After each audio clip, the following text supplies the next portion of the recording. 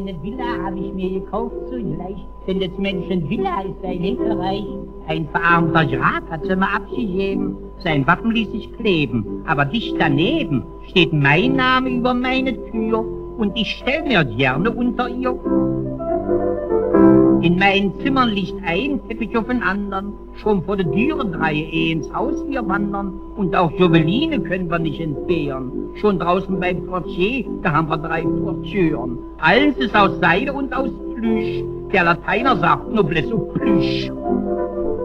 Meine Bibliothek wird riesig schön befunden. Ich habe 1200 Bücher prächtig eingebunden. Links 500 rote, graue, grüne, gelbe. Rechts von gleicher Größe ganz genau dasselbe. Mittendrin 200 Stück in blau. Ja, die Deckel kenne ich ganz genau.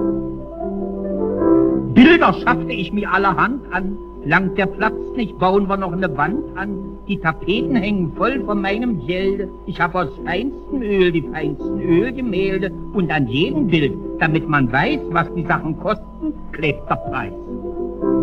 Aber alle Maler mit berühmten Namen, kaufe ich Bilder, gucke ich immer nach dem Rahmen. Denn so ein goldener Rahmen ziert die Wand am meisten. Ich habe die größten Bilder mit den dicksten Leisten. Und ein kleines Bild von Menzel bloß. Na, J. Menzel war ja auch nicht groß.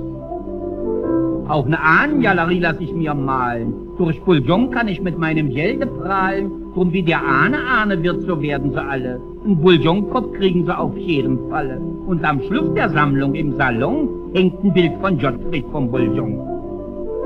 Auf meinem Schreibtisch habe ich herrliche Skulpturen. Aus reinstem Marmor sind bei mir die Gipsfiguren. Auch eine Venus hatte man mir angeboten. Die war von Mikosch, doch ihr fehlten beide Pfoten. Da sagte ich, nein, ich lass mir nicht betrügen. Für das Geld kann ich eine ganze kriegen.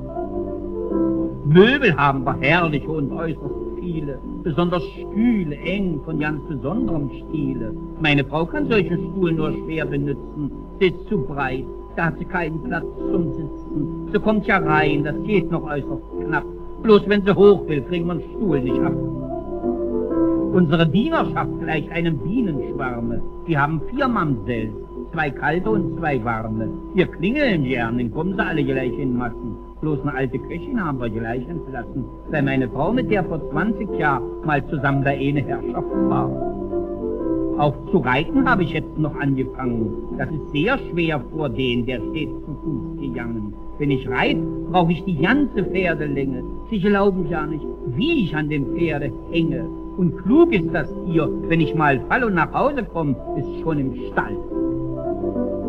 Meine Frau macht Reiten immer viel Vergnügen, bloß sie ist schwer, nur ist es schwer aufs Pferd zu kriegen.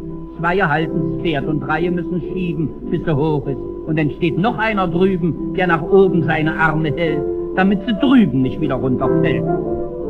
Jeden Mittag haben wir eine Menge Gäste. Zu den Leuten sage ich, fressen Sie mal Feste. Ich beneide Sie, sagt mancher, den ich lade. Denn sag ich, das wollen wir ja auch gerade.